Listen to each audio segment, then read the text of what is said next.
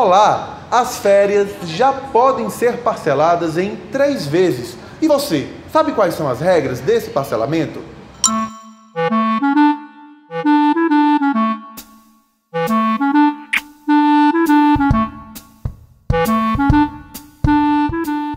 De acordo com a mudança trazida pela Lei 13.467 de 2017, a lei da reforma trabalhista que alterou a CLT, o parcelamento em três vezes precisa da concordância do empregado.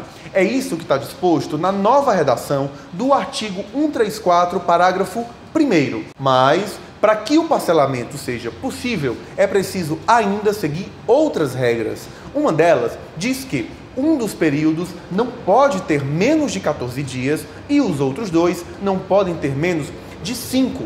Além disso, o início das férias não pode acontecer em até dois dias antes de repouso semanal remunerado ou de feriados. Ah, e aquela regra que determinava a concessão das férias em apenas um período para trabalhadores com mais de 50 e com menos de 18 anos não existe mais. Agora, quem tem mais de 50 ou menos de 18 anos pode parcelar as férias em até três vezes, como qualquer outro empregado.